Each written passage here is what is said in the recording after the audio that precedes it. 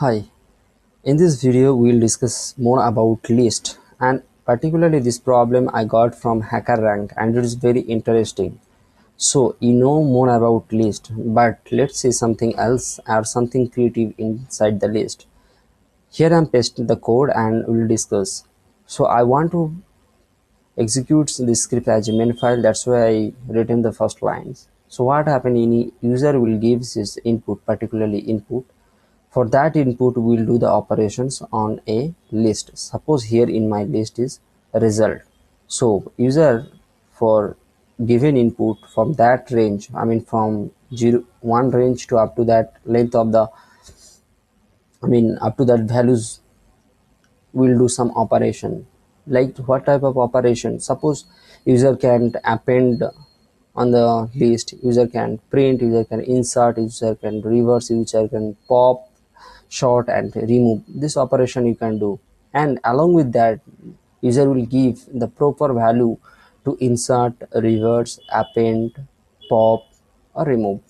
So how it is working? Let's see. You will get understands more about that when i run the program. So user suppose i will run three queries. So i give first three. My first query is there.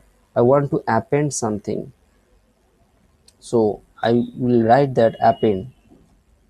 I want to append first inside the list 5 so now the list is 5 so I want to print only. So it will give 5 because in the list it is only 5 now I want to insert. Insert have two arguments. One is the position second one is the value so I want to insert second positions of value 9 so the now the list is 5 and 9 like this way we will do. So I write uh, given 3 as a integer value input that's why it is did three operations. If you want to give something else like if you give 6 then do the operation. Like you want to append first 5 then you want to print it then you want to insert it and maybe you want to reverse it. If you want to reverse it then it will be reversed like this way. If you want to pop an item from there then it will be last item will be popped and the element is like this. Or if you want to remove then do the remove operations sorry sorry sorry. You should have to remove and this value if you give the particular remove and value it will be work fine. So most probably I'll run the code here again.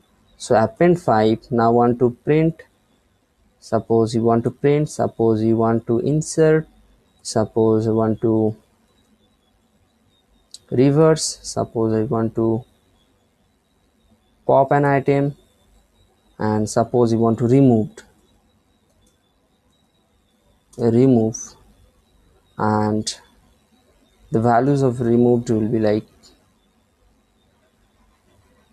5 so what happened? If you want to remove 5 the 5 is removed and the list is now empty. So it is the list operations you will do like this way. Hopefully it is crazy and creative to you. If you have alternative solutions or any further queries comment please put the comment in the comment section below. Thank you